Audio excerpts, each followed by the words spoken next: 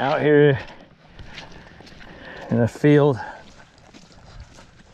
in northern Alabama. Ooh, look at those deer tracks. Interesting.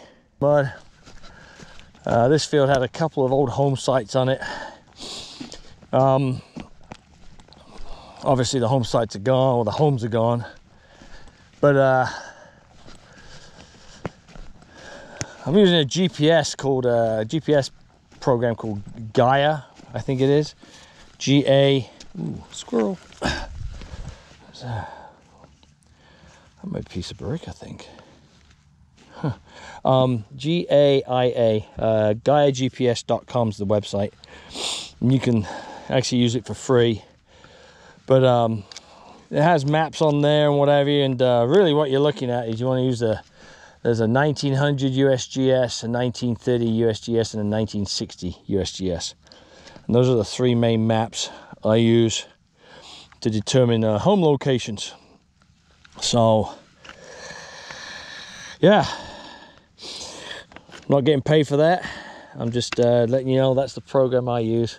And the cool thing is it has an app and you can use the app uh, between uh, your laptop your iPad, your tablet, whatever, and your cell phone. So uh, whatever you put on your cell phone, when you log in on, a, on, on another device, boom, it's right there. So, and you can keep everything private. You don't have to, you can either put it public or private. I think most people put it private because I've yet to see anybody else's stuff on, on the mapping. So, uh, yeah, anyway, I'm out here and uh, let's see what we're gonna find. Well, that was my first signal. It's an iron signal. And yep, that is an early square nail right there. That's brilliant. That is brilliant. I'll take that. Oh, oh, let me stand up. Okay, so this is interesting. It's obviously made of brass or copper. It would have been originally oblong and it looks like it's got tabs at both end.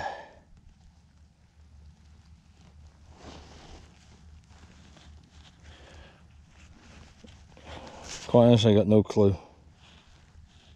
I don't see any writing or anything, which would help. But there you go. Well, something else out the ground. All right, let's keep looking. Well, this is uh, interesting. I got a little piece of metal here. It's got an arrow. It looks like it actually says Athens. That'd be for Athens, Alabama, and it has an arrow to the right, and then I see ER above that.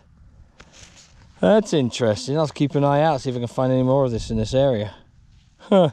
I'm assuming that's Athens. Looks like an A-T-H-E-N-S.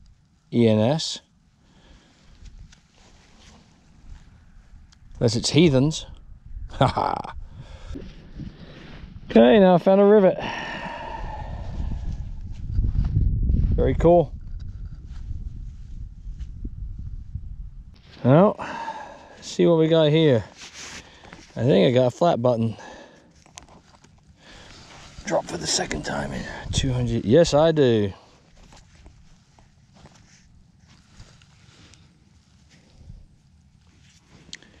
Yep. There's the back. Oh wait a minute. No that's something that's okay so there is the front plane. The back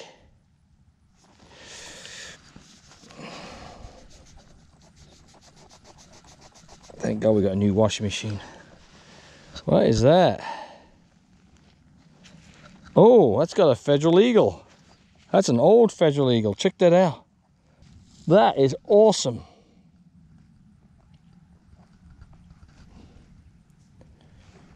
That's awesome.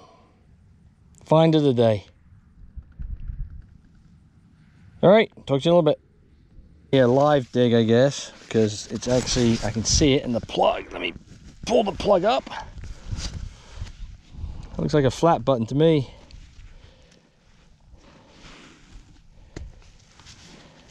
Yeah, that's a flat button. Oh, Always got it shanked too. Oh, geocache 0844 be so happy. I found a button with a shank. I need to bring a toothbrush out with me because I cannot read the back of this. I can't get it scraped off. It looks like there's something on there. I see gilt. I don't know what else. So, but that's cool. Another flat button. All right, let's keep looking. Oh, this is. Let's see. Ah. Ooh.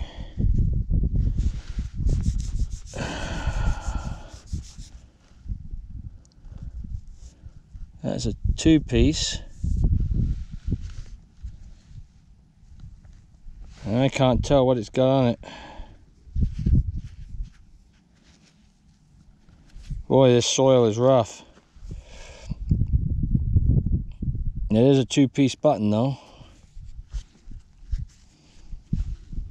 Let's see if we can, it's got some marking on it. It looks like a flower type. You know, it looks similar to one I found out in the Utah territories, 1850s era. Obviously being a two-piece, uh, the earliest it could be is the late 1840s. So that's cool. We'll get cleaned up when we get home and we'll see what's on it. Cool. Okay, now I've got part of a uh, brass, probably horse tack buckle, buckle, but it is brass, not iron. It's cool. All right, keep looking. Okay, just took my OSHA recommended um, water break which is actually very important out here even though it's like only 60 degrees possibly the humidity just sucks it out of you but anyway wind's blowing coming from the north it's feeling really nice and cool it would just start snowing while it would send 99.9% of the population here into sheer panic I'd be laughing having a good old time watching people slide off into the ditches so anyway, um, yeah. So I'm heading down to a spot where there used to be a creek that ran through this property. Obviously they've uh, cultivated the field and everything, but still uh, I want to see if maybe the around that creek holds something. And I switched to the bigger coil. So I will keep you posted and I'll talk to you in a little bit. See ya, bye. Gave up on the, uh, down there at the creek.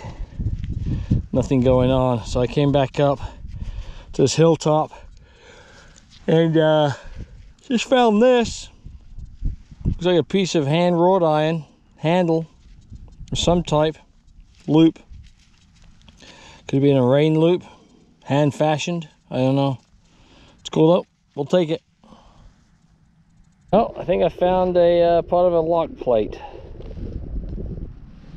interesting uh, designed lock or key that's what it looks like to me Cool.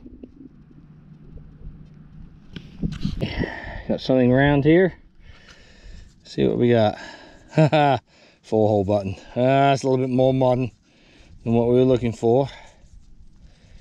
I doubt it's gonna have anything on it, but there you go, another button. Not done, not done too bad today with the buttons. Um, definitely uh, early 1800s I'd say mid 1800s and then this one here I'd even say is uh, probably Victorian era I mean it looks like it's copper. Very thin brass. So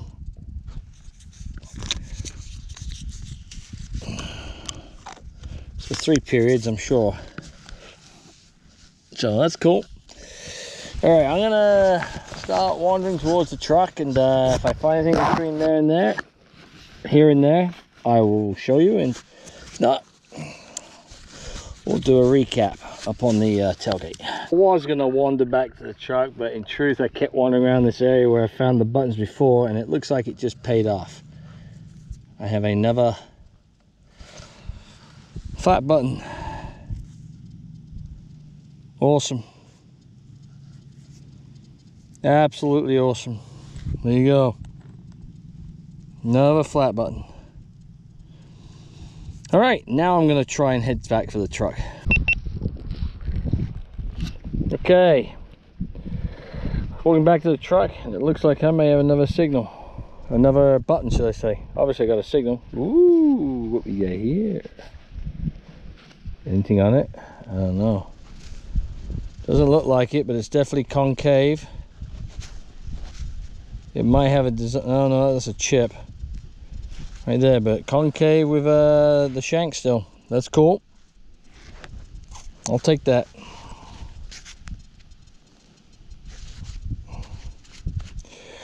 Got no idea if it's got anything on it. Doesn't look like it. Cool.